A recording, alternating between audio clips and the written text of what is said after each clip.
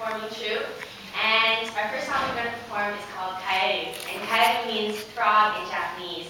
And it was actually written by our director, Sanji Kuma.